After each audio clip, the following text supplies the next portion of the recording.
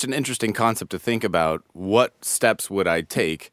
Because if I want to type something, then a process initiates, my hands come out, my arms go out, my hands go down, and I start typing.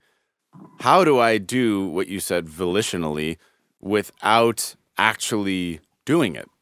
I wouldn't know how to separate. I wouldn't know how to like convince my body that I actually mean to say something without actually saying it.